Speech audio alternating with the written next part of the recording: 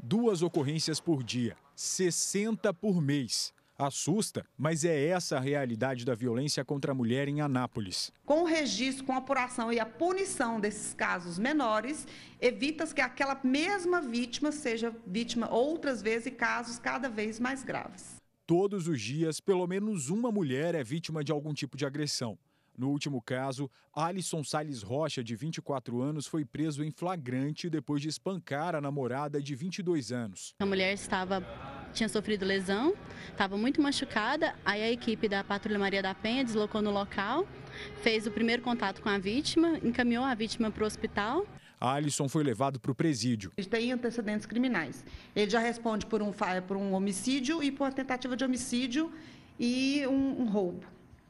É, as informações preliminares. Por isso, não foi arbitrada a fiança para ele. A comandante da Patrulha Maria da Penha explica que, em casos de violência doméstica, depois que a polícia é chamada, os agressores apresentam dois tipos de comportamento. A presença da patrulha já coíbe, já faz com que os homens é, mudem, mudem as atitudes, a orientação. E tem também as ocorrências que volta a violência, ao invés de ser para a mulher, volta para os policiais. Aí eles ficam, não, não aceitam a nossa presença e ficam agressivos. Para reduzir o número de casos de violência contra a mulher, Além das prisões, a Polícia Militar tem intensificado o trabalho preventivo. São palestras, são orientações que buscam levar o conhecimento para aquelas mulheres que são vítimas de agressões, sejam elas físicas ou psicológicas, para que ela possa realmente tomar as medidas necessárias para que aquilo não se transforme numa, numa agressão, não se transforme numa, num problema psicológico também e até mesmo vindo até a óbito em casos onde o marido